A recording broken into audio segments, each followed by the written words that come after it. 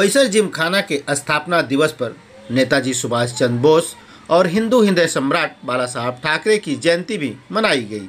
इस अवसर पर व्याख्यान और रक्तदान शिविर का भी आयोजन किया गया।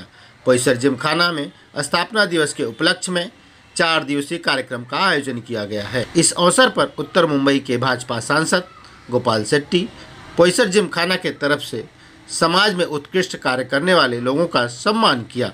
गोपाल शेट्टी जी ने इस अवसर पर सिस्टम में चल रही खामियों पर भी अपनी आवाज़ को बुलंद किया। देखिए, नेताजी सुभाष चंद्र बोस जी ने देश को बहुत कुछ दिया है। उनकी जयंती हम मनाते थे यहाँ पर वर्षों से। उनके नाम पर ही ये बारह तेरह एकड़ का भूखंड विकसित हुआ है। और भारतीय जनता पार्टी और शिवसेना की युति बहुत लंबे समय तक चली। और तेईस तारीख को ही बाला साहब का भी जयंती था तो बाला साहब का भी जयंती मनाने का सात आठ साल से सिलसिला शुरू है। तो आज युति नहीं है लेकिन बाला साहब बाला साहब है ना तो उनकी जयंती कोईसा जिमखाना के माध्यम से हो रहा है। इस साल भी हुआ है अगले साल भी होगा।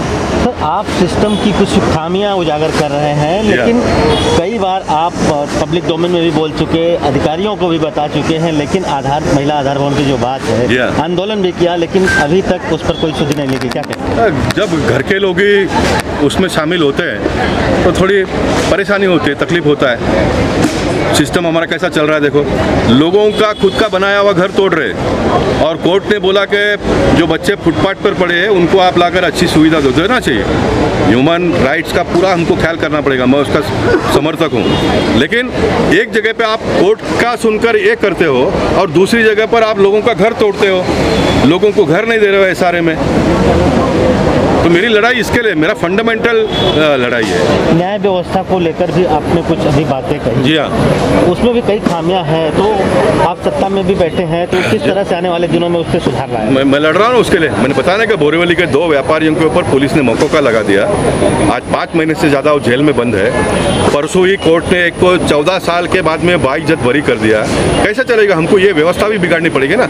इसलिए मैंने मकोका लगाने के पहले पुलिस को पुलिस के पास इतना सत्ता नहीं देना चाहिए। दो रिटायर जज को उसमें रखो। उन्होंने छानबीन करना चाहिए बराबर लगा है तो फिर उसको लगा दो।